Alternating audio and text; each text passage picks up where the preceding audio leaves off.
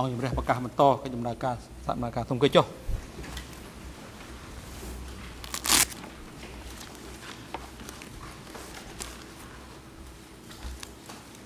សូមអញ្ជើញ Oui, merci Monsieur le Président. Je voudrais បាទសូមអរ euh, គុណលោកប្រធាន revenir une seconde sur euh, la question qui vient d'être évoquée euh, avec le document photocopié soumis à M. Yuan nous sommes certes les avocats de M. Kyosampan, mais je crois que c'est un problème euh, qui, euh, qui concerne tous. Euh, or, en faisant une rapide recherche concernant ce type de situation, euh, j'ai trouvé une décision qui a été rendue par votre Chambre et dans l'affaire Douk, il s'agit d'une décision du 26 mai 2009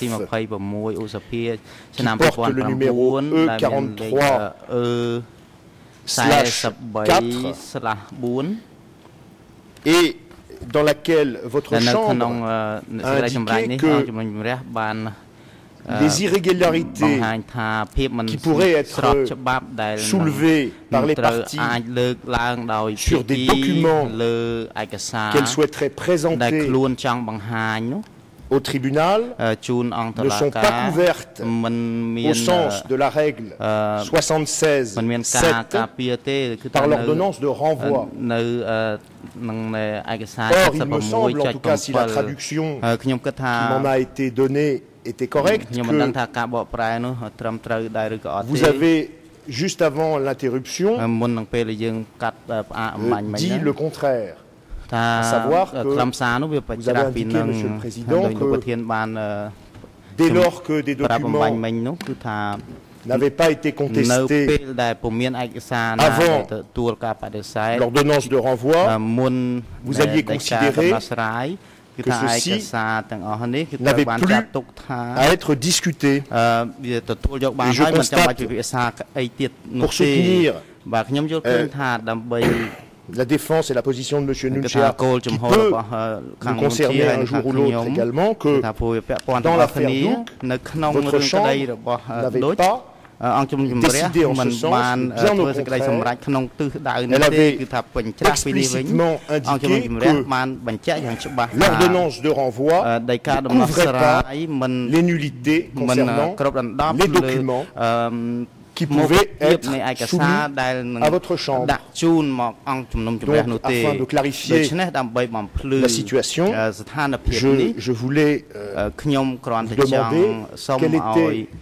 Euh, exactement la position de la Chambre à ce sujet. Est-ce qu'elle est la même que dans l'affaire Douk est-ce que vous modifiez aujourd'hui votre jurisprudence Et puis, je me permets d'ajouter, puisque tout à l'heure, on a rappelé que je venais d'arriver dans le dossier et que je n'avais peut-être pas connaissance de tous les mémorandums et de toutes les requêtes qui avaient été déposées et que cela expliquait peut-être mon emportement sur les questions de traduction, que dans un document public បកប្រែអីជាដើម intitulé គឺ Mémorandum មានឯកសារជាថា Chambre de première មួយ instance ថាអនុសារណៈ daté du 25 octobre របស់អឺ2011សាលាដំបងដែលចុះ je me ថ្ងៃ suis ទី permis de 25 poser តុ en លា copie ឆ្នាំ sur le 2011 bureau de Monsieur បាទ Lavergne ខ្ញុំបានដាក់នៅលើ en page 3តុករបស់លោកចៅ il ក្រម est ឡាវ très មិញមិញនោះ exactement គឺនៅទំព័រទី indiqué aux parties 3មានការបង្ហាញប្រាប់ភាគីថា devront solliciter ភាគី obtenir ត្រូវ les traductions des documents qu'elle souhaite produire au débat dans les trois langues du tribunal. Et il est indiqué que si elle n'y parvient pas, eh bien, la capacité d'utiliser un tel document, on sera réduit. C'est à cela que je faisais référence tout à l'heure lorsque je disais qu'il me semblait qu'une telle position revenait à mettre sur les épaules de la défense, de l'accusation ou des partis une charge impossible, à savoir la traduction de documents qui auraient dû d'ores et déjà être traduits គួរតែត្រូវបានបកប្រែជាមុនហើយជាស្រេច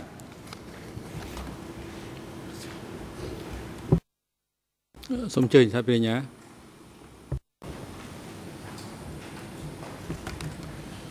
យូរ៉ាន if I can uh... briefly uh, remind Defence Counsel that in relation to the Deutsche trial now, uh, the rules of document presentation have in fact changed. Um, since, the, since the Deutsche trial, the plenary has amended the rule.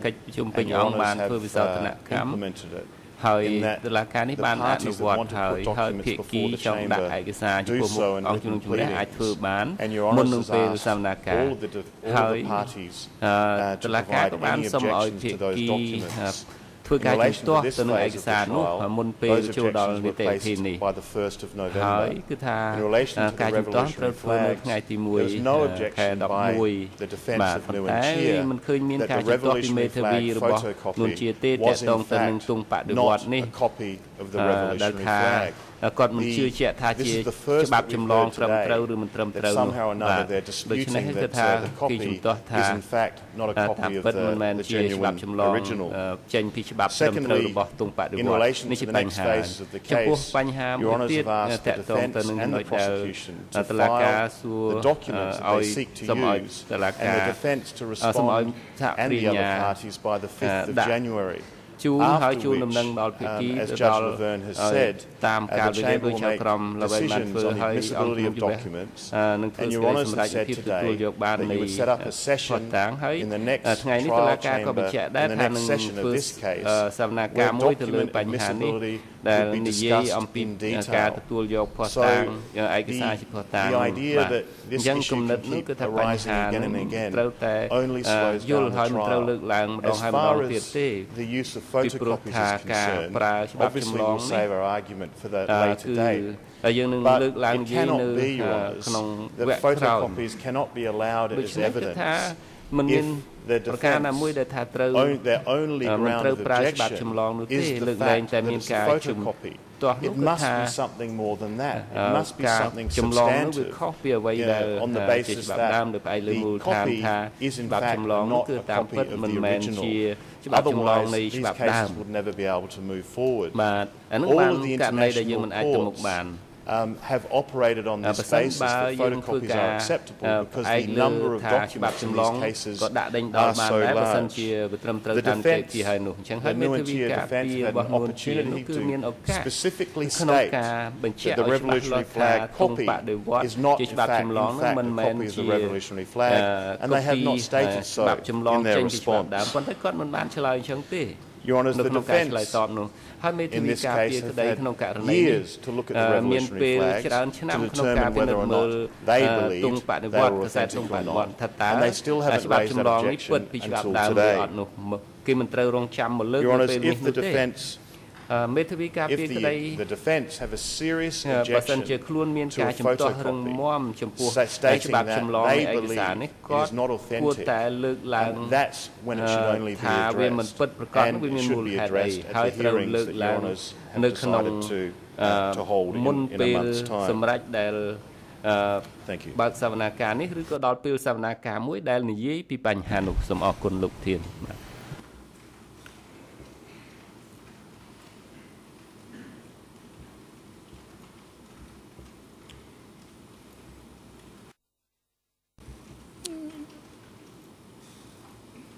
សូមអញ្ជើញប៉ុន្តែលើក្រោយលោកមេធាវីក៏គួរតែត្រូវបានសុំពីការអនុញ្ញាតពី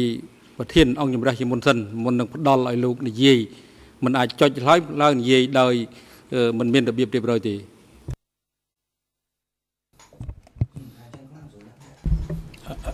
មេធាវីផេសមិនខ្ញុំសូមអនុញ្ញាតទល់មីក្រូហ្វូនបានខ្ញុំសូមអនុញ្ញាតតាមពិតគឺខ្ញុំក្រោកឈរដើម្បីបង្ហាញលោកប្រធាន អំពីចេតនារបស់ខ្ញុំដើម្បីស្នើសុំបាទសូមអញ្ជើញ Um, I- just to Uh, briefly Kim, respond some to the adnyat points raised by the like prosecutor, we top have and, filed on numerous uh, occasions uh, uh, ខាង general objections to អឺ the តំណាងសហ documents ភាពអាជ្ញាហើយយើងបាន which បញ្ជាក់ uh, ពីការ the ជំទាស់ prosecutor របស់យើង presented ដែល uh, ថា uh, or wanted to be put before the អឺ chamber. ដែលប្រាជ្ញាចង់ដាក់ we ជូន think ដេញដោល we've នេះ taken this ហើយ position, យើងគិត position ថា on យើ more ង than ប្រ one កាន់ occasion. ចំ We ហ think គិ that ត the ថាយើង procedures បាន should, ធ្វើ should be លើ established សពី to 2 3ដង uh, ដូច្នេះ establish the authenticity ជាពិសេស of គឺ documents. ដំណាក់កាលដើម្បីបញ្ជាក់ពីយ And ត្ត uh, យ we ថា have ភាព raised នៃ this ឯ as ក a សារ general ហើយ point, នៅ and ក្នុង my ចំណុច client ទូ today ទៅកូនក្រីរបស់ខ្ញុំ raised a គាត់បាន specific លើក objection to ចំណុច one ជាក់លាក់ document ទៅ which នឹង has been ចំណុច put before អឺមួយដែលជាការ Um, ជំ I ទាស់ think រ that ស់ should គាត់ be enough. And អឺ uh, ខ្ញុំ I ថា think that ខ្ញុំយល់ថា the នេះជាការ authenticity គ្រប់ of គ្រាន់ doc- this ហើយជាការ document has ជំ to be ទាស់ established before we ហើយ continue យើង questioning ត្រូវ my តែ client on បញ្ this ជាក់ពី uh, យ particular ថាភាព issue. នៃឯកសារ And នេះ uh, we មុនពេលយើង support ចូល the suggestion ដល់ uh, ការដេញ made by ដោ the លហើយខ្ញុំ prosecution to ឆ្លើយតបទៅ reserve សា a ព្រា week ញ៉ាមិញដែរគឺថា to ទុករយៈ discuss ពេល all អឺ issues ពី related 3 to ស the ប្តាហ៍ admission of ដើម្បី documents, but not, អឺ not only ពិ to ភា the ក្សា admission អំ of ពី documents, ការ but also ទទួល to the យកឯកសារនេះមកដាក់ authentication of មក documents. ដេញដោលប៉ុន្តែយើងនឹងនិយាយតែអំពីយថាភាពនៃឯកសារនិងការទទួលយកឯកសារនោះបាទបាទអរគុណនៅការសង្កេតរបស់ភាគីពាក់ព័ន្ធនឹងបញ្ហានេះហើយអឺអង្គជំរះអឺយល់ឃើញថា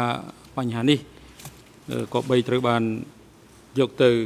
គិតគូរពិចារណាហើយនឹងអឺសម្រាប់ពិភាក្សាសម្រាប់អំពីបញ្ហានេះក្នុងវេលាសមស្របណាមួយឥឡូវនេះយើងបន្តនៅកម្មវិធីនៃអឺការកំណត់នៃការបរិច្ឆេទសម្រាប់ធ្វើសកម្មភាពរបស់យើង តាមផែនការដែលបានគ្រោងទុកហើយជាបន្តនេះអង្គជំរះសូមបកគលវិទ្យការជូនទៅសហប្រញ្ញាដើម្បីបន្តសួរ សំណួរចំពោះលោកនួនជាប្រសិនបើនៅមានសំណួរផ្សេងទៀតដែលមិនពាក់ព័ន្ធជាមួយនឹងទស្សនាវដ្តីទងបដិវត្តឆ្នាំ1977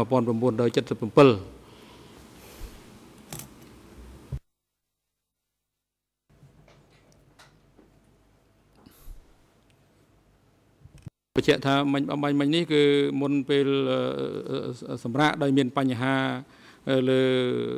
សុពលភាពនៃឯកសារទងបដិវត្តអឺទស្សនវិស័យទងបដិវត្តឆ្នាំ1977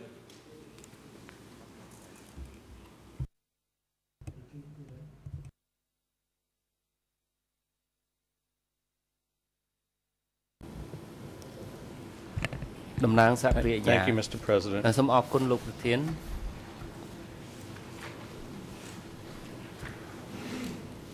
When we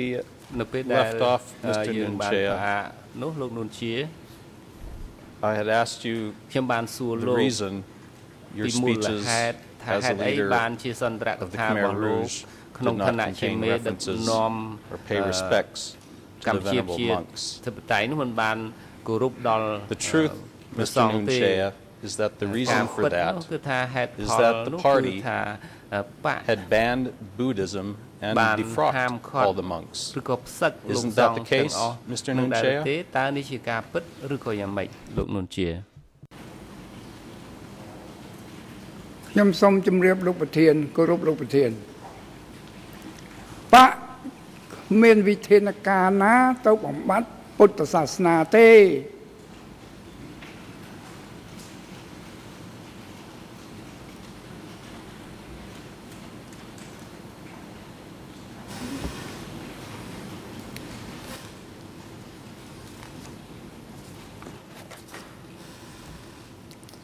When uh, Judge Laverne was questioning you uh, yesterday, Mr. Nunchia, uh, you were discussing some of the principles of Buddhism that you believed were compatible with the party. The truth is that there also were many principles of Buddhism that were not consistent with the party, including ទាំង the principle of គោល karma, ការណ៍នៃកម្ម the ផល belief that bad ការ and good ជំនឿ deeds from another អំ life ពើអាក្រក់ resulted ពី in ជាតិ pre- មុន present ហើយនឹង conditions. ផលវិបាក Is it វាមក not ដល់ជីវិតបច្ចុ correct, ប្បន្ន Mr. Nunchea, តើនឹង that the ជារឿងត្រឹម principle ត្រូវដែរ of ឬទេ karma ដែល was ថា fundamentally ទ្រឹស្ដីកម្មផល inconsistent គឺ with the party មិន lines? ស្របជាមួយនឹងមេគាបកទេតើមែនឬទេ សូមជម្រាបលោកប្រធាន កម្មហើយនឹងផល ក្នុងពុទ្ធសាសនា តាមខ្ញុំពិចារណាខ្លះណាគ្មានគ្មានកម្មពីជាតិមុនជាតិណាទេវាកម្មបច្ចុប្បន្ននេះណាបច្ចុប្បន្ននេះដែលជាកម្មហើយកម្មបច្ចុប្បន្ននេះវាឲ្យផលបច្ចុប្បន្ននេះកម្មល្អឲ្យផលល្អកម្មអាក្រក់ឲ្យផលអាក្រក់ ឯកម្មវិជាតិមុនអ្នកណាទៅដឹងទៅដឹងអ្នកណាធ្វើកម្មអីងប់បាត់ទៅហើយក៏ប៉ុន្តែបច្ចុប្បន្ននៅរស់នេះណែធ្វើអាក្រក់ដឹងអាក្រក់ធ្វើល្អបានល្អធ្វើកុសលកម្មបានផលល្អធ្វើអកុសលកម្មបានផលអាក្រក់អានេះខ្ញុំជឿជាក់ជាក់ហ្មងអ្នកណាកម្មរបស់អ្នកណានៅនោះទទួល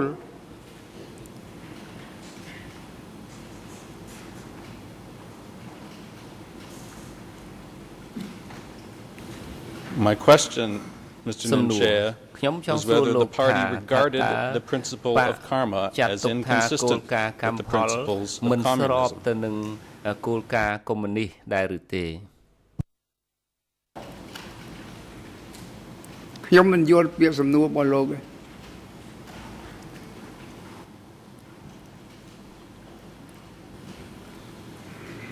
Well, Mr. Nunchair, what លោក is នួ your នជួ response លោកនួនជា to តើ the លោកឆ្លើយ thousands ដូ of ចម្ដេច witnesses ចំពោះ who សាក have សី given រាប់ statements ពាន់ in the case file ដែលដាក់ who ចម្លើយ all នៅក្នុងសំណុំ consistently រឿង say ដែលនិយាយ that the ស្របគ្នា pagodas ថា were closed, វត្តអា the រាមទាំង monks អស់ត្រូវបាន defrocked, and បិទ the practice អឺ of ព្រះស Buddhism ង្ឃទាំងអស់ត្រូវបាន banned during the អឺ period ផ្សិត you were ហើ the យការប្រ deputy តិបត្តិសាស secretary នា of ត្រូវ the បាន Communist Party. ហាមឃាត់ How do នៅ you អំឡុង explain ពេល that? ដែលលោកជាអនុលេខាបកបើលោកមិនអាចឆ្លើយបានថាគោលការណ៍ពុទ្ធសាសនាវាផ្ទុយនឹងគោលការណ៍បកនោះ Can I, I'm sorry. Can, I would like to object to this question. And first of all, um, I'm សំ not ទោស familiar with លោក thousands of ធាន statements ខ្ញុំសូមជំ which, ទាស់ uh, ទៅនឹងសំ say ណួរ that, នេះ uh, ដែលហេតុថា monks នេះ had ដូច to ជាសេច defrock ក្តី and ថ្លែងការណ៍ pagodas របស់ had to សា be ព្រាជ្ញា closed. ចង់ឲ្យកូនប្តី But, របស់ um, ខ្ញុំ but ឆ្លើយ most importantly, I ប៉ុ don't ន្តែសំ understand ខាន់ the បំផុត relevance ដែល of this ខ្ញុំ question មិន for អាចអឺ the segment យល់អំពី we are discussing today. ផ្នែកនៃការពិភាក្សានៅថ្ងៃនេះនោះទេ Mr. President? តំណាងសហព្រាជ្ញាលោកប្រធាន Mr. President, it, Uh, it, Look, is, it Putin. is clear ហើយ from យើង the ដឹង case ច្បាស់ file ហើយថានៅក្នុង that សំ the ណុំរឿង decision សេចក្តីសម្រេច to uh, ban Buddhism ក្នុង was ការ made ហាម prior 5 to ពុទ្ធ April សាសនា 1975. គឺត្រូវបានធ្វើ There ឡា are ងមុន numerous, numerous អឺ statements ខែ on the មេ case សា file ឆ្នាំ from witnesses who 1975 testified to that practice in areas that were liberated by the Khmer Rouge prior to then. In order, in order to establish that, all we, we were incidentally touching on that practice, but the point here is to confront the witness with the truth, and the truth is that every សក្ខីកម្មរ single របស់ witness who សា has ក្សីអំពី testified in បង្ this ហាញការ proceeding ពិតឲ្យគាត់បាន is that អឺ the ដឹង Khmer ថា Rouge តើ closed ខ្មែរក្រហ the មពិត pagodas ជា and បាន defrocked the អឺ monks. បិទវត្តអារាមហើយនឹងផ្សឹកព្រះសង្ឃទាំងអស់មែនឬក៏មិនមែនបាទសូមអញ្ជើញមេធាវីការពារនួនជាមុនបាទ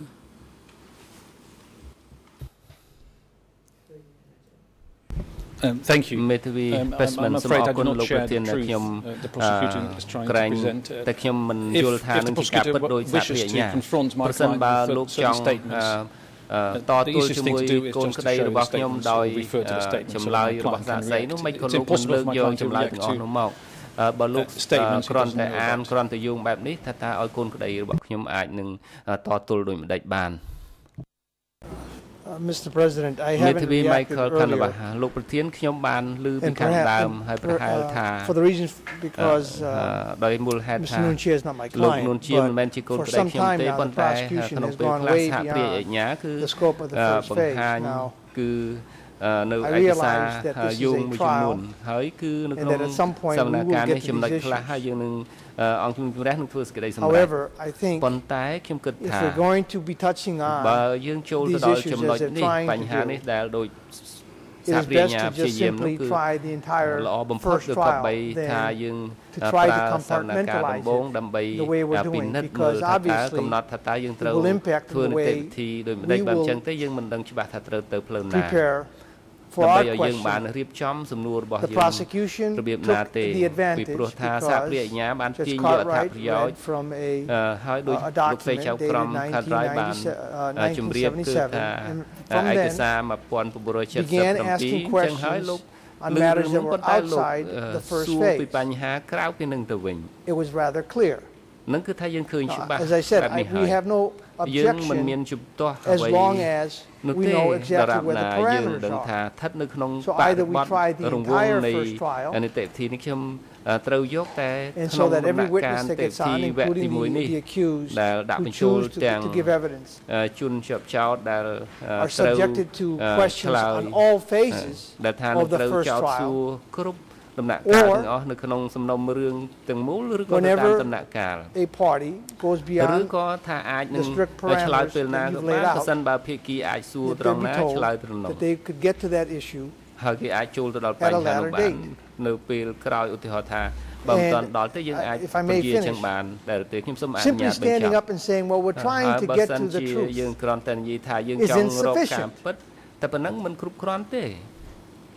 I don't think that's ខ្ញុំ the មិនគិតថា answer នោះជាចម្លើយនោះ when ទេកាលណា the objection is ការ how មាន is it មានការជំ relevant ទាស់ថា to តើ the វាតក first តងទៅឬ phase. ក៏មិនតកតងទៅនឹងដំណាក់កាលនៃសាវនាការនោះ So either ដូច្នេះ we, we try the entire អឺ case យើងជំនុំ or ជ we ម្រះ limit សាវនា the ការឬ questioning ក្តី at ទាំងមូ this លឬ phase ក៏ to យើ the ង first ផ្អែក phase ទៅលើ that តែ you've set out. អឺវគ្គ One ទី or the 1 other. នេះតើចំណុច Thank you. ណាមួយសូមអរគុណលោកធានបាទ អរគុណច្រើនដូច្នេះយើងកត់សម្គាល់ឃើញថាផ្អែកតាម មតិជំទាស់របស់មេធាវីការពារក្តីទៅនឹងសំណួរដែលសួរពាក់ព័ន្ធជាមួយនឹងកិច្ចការអឺបញ្ហាសាសនានេះហើយបើយើងពិនិត្យលើឯកសារឧបសម្ព័ន្ធ E 124ស្លាស់7.2នោះគឺមានកំហិតព្រំដែនដែលមិនលើកយកមកពិភាក្សានៅបញ្ហាដែលពាក់ព័ន្ធធ្វើការថោកធ្វើទុកបុកម្នេញសាសនាទេយើងធ្វើពិភាក្សាដេញដោលទាំងក្របខ័ណ្ឌ នៅអង្គហេតុទាំងឡាយណាដែលពាក់ព័ន្ធនឹងធ្វើទុកបុកម្នេញខាងនយោបាយប៉ុណ្ណោះដូច្នេះជំទាស់របស់មេធាវីមានប្រសិទ្ធភាពសហប្រញ្ញាកំហិតនៅសំណួរដែលពាក់ព័ន្ធជាមួយនឹងជនចាប់ចោតក៏ដូចជាជាមួយនឹងសាក់សីដទៃទៀតទៅតាមក្របខ័ណ្ឌនៃអង្គហេតុដែលបានកំណត់ធ្វើសកម្មភាពដំណាក់កាលទី1ហើយដោយឡែកចំពោះជនជាប់ចោតគឺសូមលើកនៅអង្គហេតុដែលពាក់ព័ន្ធនឹងកន្សោមនៃ កថាខណ្ឌដែលបានលើកឡើង នៅក្នុងការធ្វើសកម្មភាពសម្រាប់វគ្គទី1នៃអង្គហេតុសម្រាប់លើកមកធ្វើសកម្មភាពនៅវគ្គដំបូងនេះលោកសាភិញ្ញាអាចបន្តសំណួរបានសំណួរផ្សេងទៀតក្រៅពីសំណួរដែលពាក់ព័ន្ធជាមួយនឹងសាសនា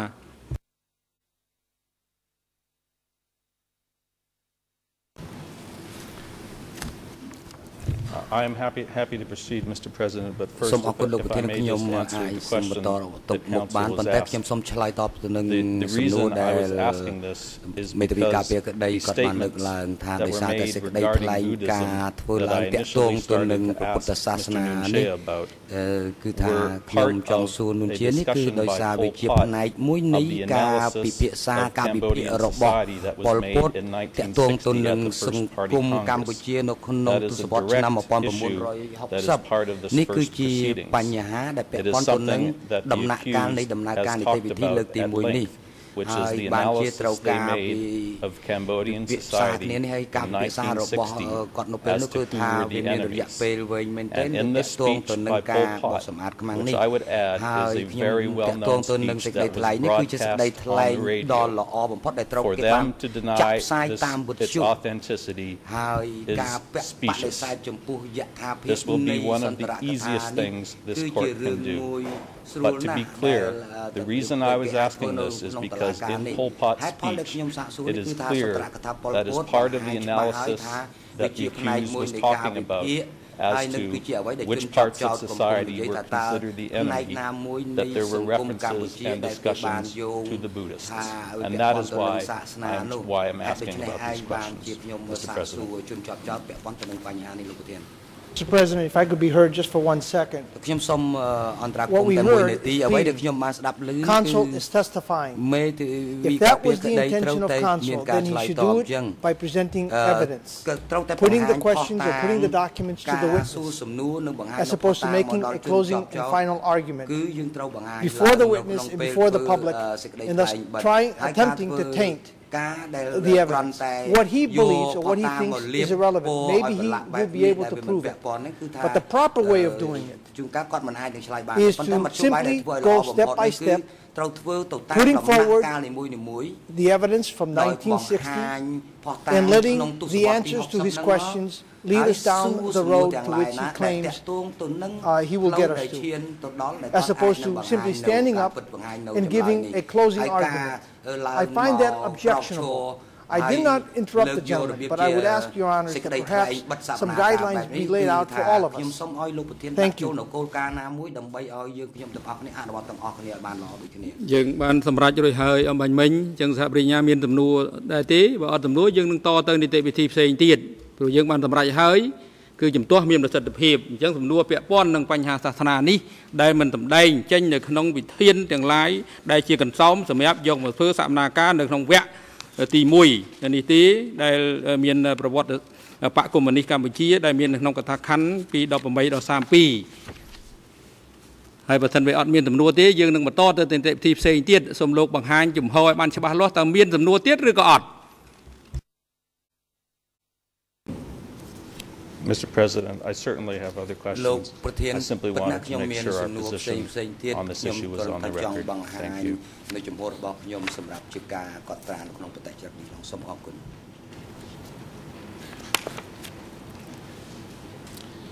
Mr. Nunchea, លោកនួនជា do you recall តើលោ the កនៅ speech ចាំបា that ន Pol ទេ Pot gave នៅសន្ទរក in ថា September ដែលប៉ុលពតបានធ្វើឡើងនៅក្នុង 1977, where ខែ he កញ្ញា announced ឆ្នាំ to the world the existence of the Communist Party at អំពី Kampuchea? អធិភាព Were you present at កម្ that ពុជា speech? ប្រជាធិបតេយ្យតើលោកមានវត្តមាននៅពេលដែលប៉ុលពតធ្វើសន្ទរកថានោះទេសូមជម្រាបលោកប្រធានវាយូរឆ្នាំហើយខ្ញុំមិនចាំទេលោកមានឯកសារយកមកមើលយកឯកសារមកបង្ហាញខ្ញុំមើល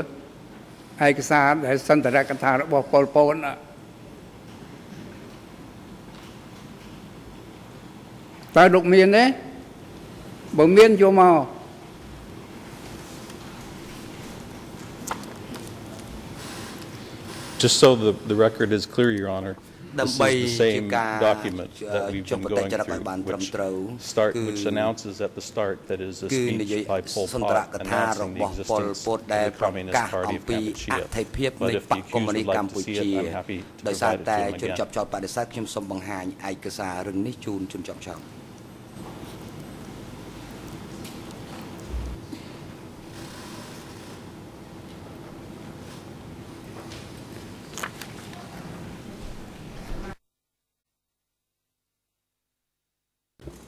សារប្រញ្ញាបញ្ជាក់អំពីអត្តសញ្ញាណឯកសារផងលេខឯកសារ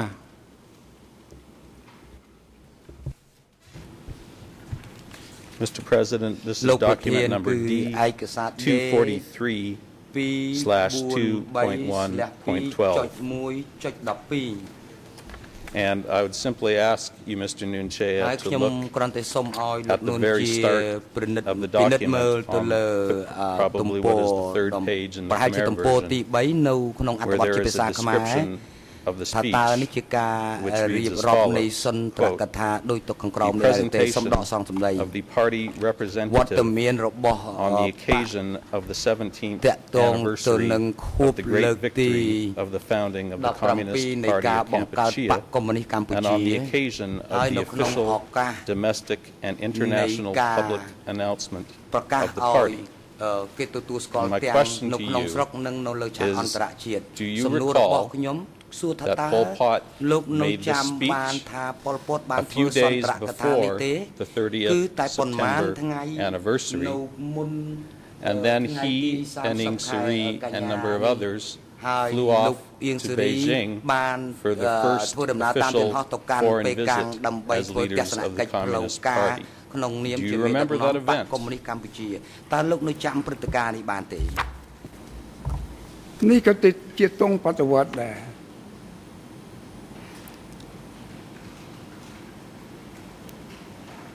ដូច្នោះខ្ញុំបានបដិសេធហើយថា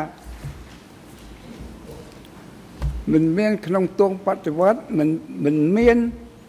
ខ្លឹមសារអីដែលនិយាយអំពីរឿងសាសនាអីទេនេះលោកយកទងបដិវត្តនេះមកឲ្យខ្ញុំទៀតខ្ញុំបានបដិសេធម្ដងដែរហើយ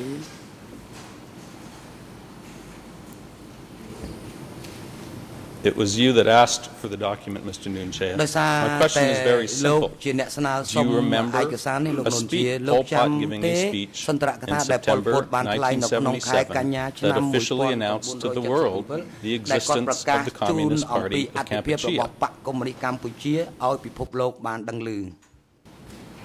ខ្ញុំមិនបានចាំទេសូមគោរពលោកប្រធានព្រោះវាយូរឆ្នាំណាស់មកហើយ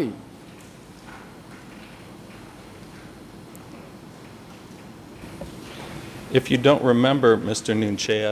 how is it លោកនុន that ជា you ប្រសិនជាលោក believe មិន this ចាំទេ document is ថា not តើ in fact a មិន copy បា of ន that ជាលោក speech? អឺជឿថាឯកសារនេះមិនមែនជាឯកសារថតចម្លងចេញពីសន្ទរកថានៃច្បាប់ដើមខ្ញុំមិនយល់សំណួរលោកទេឥឡូវផ្អាកការសួរសិនទៅលោកសហប្រញ្ញា ប្រកបឲ្យមន្ត្រីតុលាការបង្ហាញនៅឯកសារទស្សនាវដ្តីទង់បដិវត្តន៍ឆ្នាំ1977នៅលើអេក្រង់ទូរទស្សន៍មួយទំព័រម្ដង តាំងពីដើមរហូតដល់ចប់ហើយនឹងចុងក្រោយគឺត្រង់ចំណុចដែលពាក់ព័ន្ធនឹងសហប្រញ្ញាចង់សួរដើម្បីឲ្យលោកនួនជាបានពិនិត្យ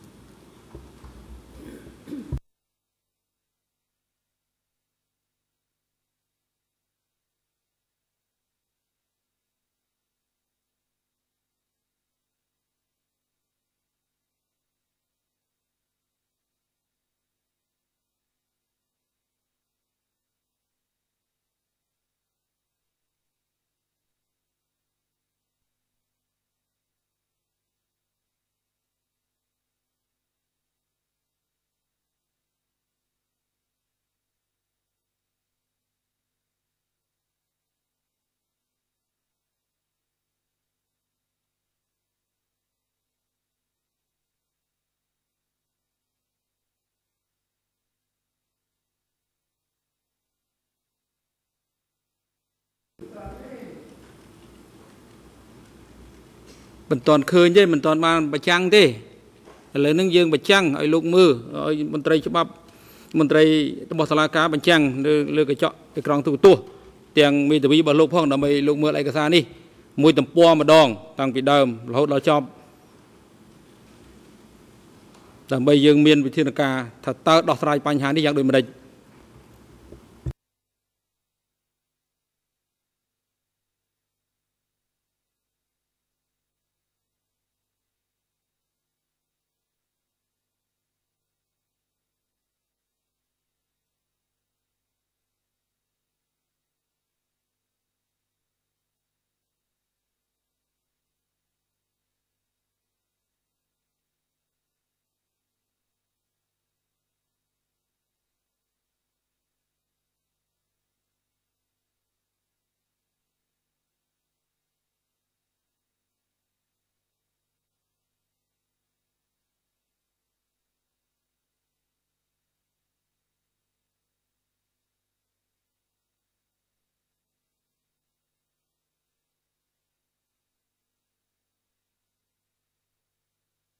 ចា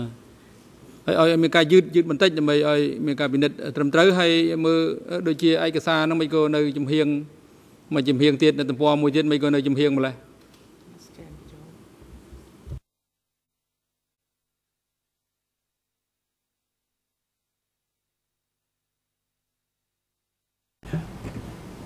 Excuse me. Your Honor, if, if the point លោក of ប្រ this ធាន exercise ប្រសិន is ណា for Mr. ជា Nunchia to read អ្វី the ដែល document, perhaps he could indicate ខ្ញុំសោះសុំ the ឲ្យ end លោក of each នួន page ជាគាត់ when it's អាច finished អាន reading the ទៅលើ document ទំព័រនីមួយ instead នី of មួយ just flipping through page by page by page. មួយទំព័រម្ដងមួយទំព័រម្ដងដើម្បីឲ្យគាត់ទៅបានយល់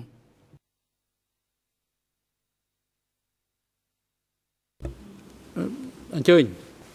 ដាក់ប្រចាំថ្លៃម្ដងទៀតដាក់ឲ្យយឺតយឺតនៅពេលនេះរហូតដល់ចប់ម៉ោងហ្នឹងគឺគ្រាន់តែពិនិត្យបញ្ហាប៉ុណ្ណឹងក៏បានដែរពិនិត្យបញ្ហាហ្នឹងឲ្យរួចទោះបីដោះស្រាយមិនបានអង្គជំរះបានឬក៏មិនបានអង្គជំរះនឹងមាន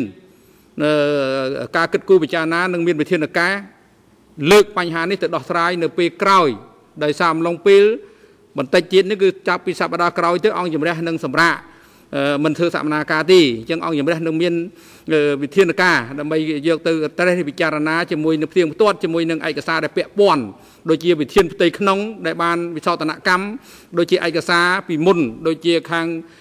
មេធាវីការពារខៀវសំផនបានលើកឡើងដើម្បីផ្គូផ្គងមកថាតើយើងដោះស្រាយបញ្ហានឹងដូចយ៉ាងដូចម្ដេច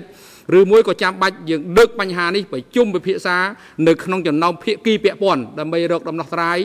ដែលជាដំណោះស្រាយមួយឲ្យបានត្រឹមត្រូវហើយនឹងជាក់លាក់បំផុតជៀសវាងបញ្ហានេះកើតឡើងម្ដងហើយម្ដងទៀតសូមអញ្ជើញថាបរិញ្ញា Yes, uh, uh, thank you, Mr. President. Some I, I agree. And if I'd make a suggestion, rather than spending the last time just having the document on the screen, that I'll move on to a different line of questioning, and we'll, we will address the, these issues about these documents during, during the break so that when we resume, uh, we won't have these interruptions. Is that acceptable, Mr. President? យើងបានប្រា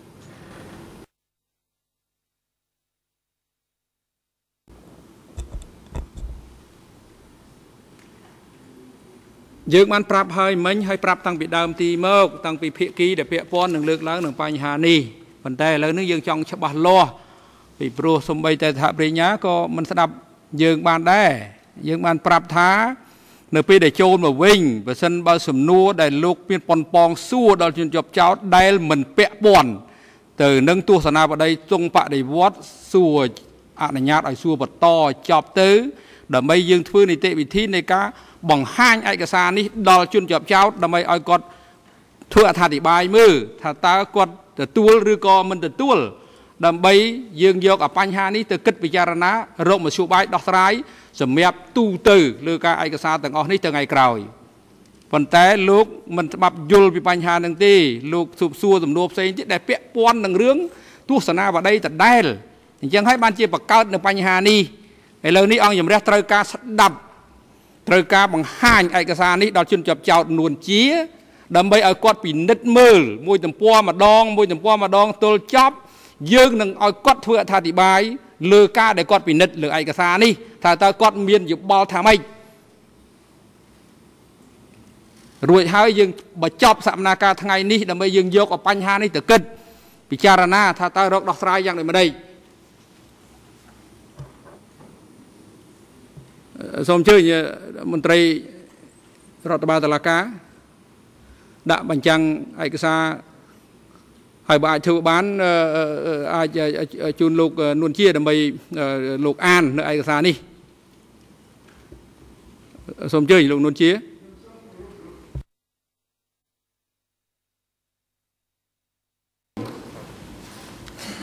ថាខ្ញុំមិនទទួល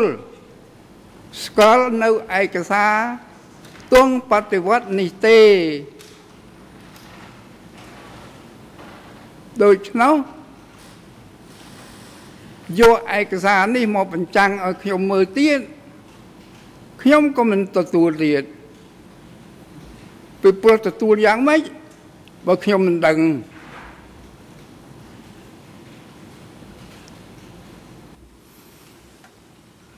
អរគុណច្រើនដែលលោកប្រកាន់នៅជំហរច្បាស់លាស់ដូចនេះប៉ុន្តែអំបញ្ញមិញនេះគឺលោកបានបង្ហាញនៅជំហររបស់លោកពីខាងដើមគឺឯកសារជាกระดาษដោយសារសហប្រញ្ញាបញ្ជូនឯកសារជាกระดาษទៅឲ្យលោកលោកថាឯកសារជាกระดาษហ្នឹងជាហ្វូតូកូពីមិននឹងយកមកពីណាទីអញ្ចឹងហើយបានអង្គជំរះដូរនៅវិធីសាស្ត្រមួយគឺយកឯកសារដែលដាក់នៅក្នុងសំណុំនៅក្នុងប្រព័ន្ធសៃលឹបតាមប្រព័ន្ធព័ត៌មានវិទ្យា ដែលបានអនុវត្តគ្រប់គ្រងបែបនេះនៅក្នុងតុលាការនេះតាំងពីដើមទីរហូតមកដល់ពេលនេះ ហើយវាមិនដែលមានបញ្ហាណាមួយទៅលើបញ្ហា ការប្រើប្រាស់ការដាក់ឯកសារសំណុំរឿងចូលទៅក្នុងប្រព័ន្ធ Zylab ប្រព័ន្ធព័ត៌មានវិទ្យាទេទើបតែពេលនេះទើបវាកើតមានអញ្ចឹងហើយបានជាយើងផ្លាស់ប្ដូរនៅរបៀបនៅក្នុងការបង្ហាញឯកសារដែលលោកមិនជឿជាក់ដោយសារឯកសារនេះផ្ដល់ដោយសហប្រញ្ញា ទើបយើងបញ្ជាក់បញ្ហានេះថាឯកសារនេះគឺយកចេញពីកម្មវិធីគ្រប់គ្រងសំណុំរឿង002នៅក្នុងប្រព័ន្ធ Zylab ប្រព័ន្ធព័ត៌មានវិទ្យាដែលយើងប្រើប្រាស់ និងអនុវត្តនៅទីនេះតាំងពីដើមរហូតមកទាំងសំណុំរឿង01 02ដើម្បីឲ្យវាមានការច្បាស់លាស់ក្រែងលោលោកមិនបារម្ភលើបញ្ហាឯកសារនេះទៀតដូចឯកសារដែលថតចម្លងជាกระดาษ តែបើសិនបើលោកនៅតែជំទាស់បញ្ហានោះនោះគឺជារឿងមួយទៀតដោយថាអរគុណណាស់ដែលលោកបានបង្ហាញចំហច្បាស់លាស់នៅក្នុងការជំទាស់នៅឯកសារនេះហើយឥឡូវនេះដល់ពេលម៉ោងសំលមមនឹងសម្រាប់ហើយសម្រាប់ថ្ងៃនេះដូច្នេះអឺអង្គជំរះអឺប្រកាសផ្អាកកិច្ចដំណើរការសកម្មភាពសម្រាប់ថ្ងៃនេះត្រឹមនេះ សូមអញ្ជើញសូមអញ្ជើញមេធាវី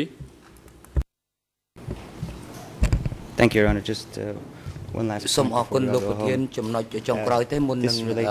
សម្រាប់ something that happened this morning អ្វីដែលកើតនៅព្រឹកមិញនេះតកតងទៅនឹងការសួរទៅនឹងលោកឡុងនរិនខ្ញុំបានកត់សម្គាល់ឃើញខ្ញុំចង់បញ្ជាក់ឲ្យច្បាស់ថាខ្ញុំខ្ញុំសូមជំទាស់ទៅនឹងសេចក្តីសម្រេចទៅលើការសួររបស់ ស្មិនដែលអង្គជំនុំបដិសេធតាក់ទងទៅនឹងលោកគៀតឈុនហើយថាមិនពាក់ព័ន្ធប៉ុន្តែអ្វីដែលយើងសាកសួរនោះគឺថាសិតតែពាក់ព័ន្ធទៅនឹងដំណើរការនីតិវិធីទាំងអស់នេះគឺជាជំហររបស់ខាងមេធាវីការពារក្តីយើងខ្ញុំហើយយើងខ្ញុំក៏សូមអរគុណដល់សហការីទាំងអស់សហភាពតាទាំងអស់ដែលបានគ្រប់គ្រងដល់យើងខ្ញុំនៅក្នុងសំណាក់ដំសវនាការនាថ្ងៃនេះសូមអរគុណច្រើនសូមជ័យលោកស្រីចក្រម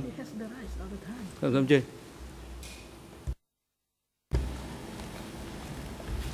Your objection was noted ចាប់ក្រាមគឺថាការជំទាស់របស់លោកគឺត្រូវបានកត់ត្រាហើយឲ្យបានសមស្របនេះគឺជាបញ្ហាមួយដែលយើងត្រូវដោះស្រាយឲ្យបានសមស្របអរគុណណាស់លោកអេនឌីមកសាជាថ្មីម្ដងទៀតអឺខ្ញុំរះប្រកាសថាសកម្មភាពសម្រាប់ ថ្ងៃនេះគឺត្រូវផ្អាកត្រឹមប៉ុណ្នេះហើយសកម្មភាពនឹងលើកទៅបន្តធ្វើនៅថ្ងៃទី10ថ្ងៃអង្គារទី10ខែមករាឆ្នាំ2012ហេតុដូច្នេះសូមភិក្ខីសាធារណជន ហើយនឹងការិយាល័យរដ្ឋបាលនិងអង្គភាពពាក់ព័ន្ធក្នុងកិច្ចខិតខំក្នុងការគ្រប់គ្រងដល់កិច្ចដំណើរការសកម្មភាពរៀបចំសកម្មភាពរបស់អង្គរដ្ឋដំបងគឺសូមជ្រាបហើយអនុរិយមន្ត្រីឃុំឃាំងឲ្យនាំខ្លួនជនជាប់ចោតទាំង3រូបទៅកាន់មន្ត្រីឃុំឃាំងវិញហើយនឹងឲ្យនាំគាត់មកកាន់បន្ទប់សកម្មភាពនេះនៅព្រឹកថ្ងៃទី10ខែមករាឆ្នាំ2002ឲ្យបានមុនម៉ោង9ជាកំណត់សូមសម្រាប់ចោះ